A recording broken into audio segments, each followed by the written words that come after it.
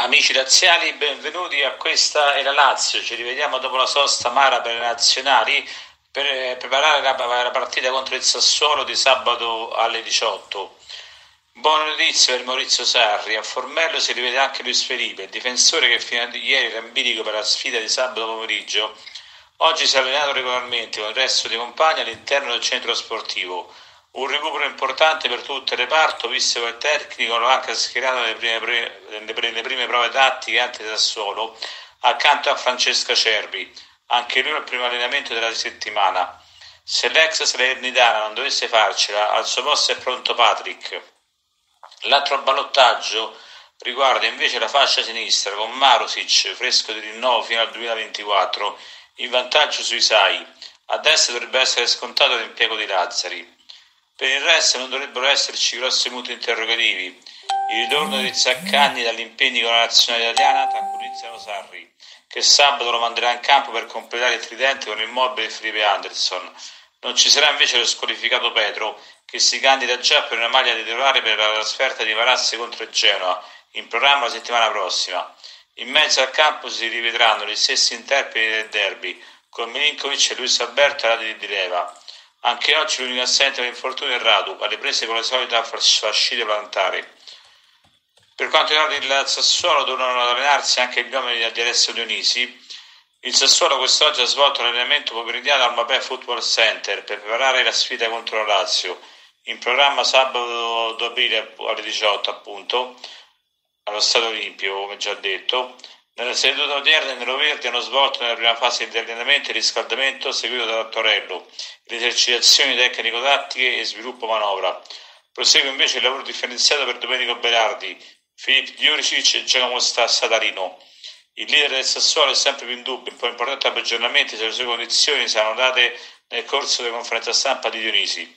Il programma Verde infine prevede che domani mattina ci sia la rifinitura e poi subito dopo pranzo la squadra partirà per Roma. Notizia di calciomercato. Per la prossima stagione Sarri avrebbe bisogno di un aiuto dal mercato specialmente in fase difensiva.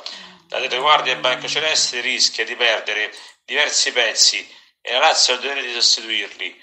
Da Luis Felipe da Cervi, passando per Patrick e il dubbio Radu. Sono tanti i nomi che sono stati fatti nelle ultime settimane, sia di centrali che di laterali. Come riporta la testina stampa a cura di Reto 6, torna di moda in casa in casa Lazio il nome di Fabiano Parisi il terzino sinistro dell'Empoli sta vivendo una stagione da assoluto protagonista sotto la guida di Andrea Azzoli e sembra pronto per il grande salto. Su di lui l'interesse di un'altra big italiana come il Napoli. La valutazione del club toscano per il difensore classe 2000 di circa 15 milioni, simile a quella che il Chelsea fa per Emerson Palmieri. Vediamo anche alcune dichiarazioni che ha fatto al Lazio SR Radio Beppe Signori. È passato un anno dalla sua soluzione e ha raccontato le difficoltà di quel periodo vissuto ma non solo, si è soffermato sulla razza di Sarri e su ciò che si aspetta dalla prossima gara, lasciando spazio anche per i ricordi. Queste le sue dichiarazioni. Sto bene, sono stati anni difficili, non è importante guardare al futuro, dipende dalla mia vita. Nel 2011 è cambiato tutto, l'anno prima a Coverciano avevo bisogno di Palentino per allenare. Gli ultimi dieci anni non mi aiuterà nessuno, ma ormai mi piacerebbe allenare i ragazzi e mettermi alla prova. Sui immobili ognuno deve essere contento per le cose che ha fatto e di quello che ci è riuscito a dare con la maglia della Lazio.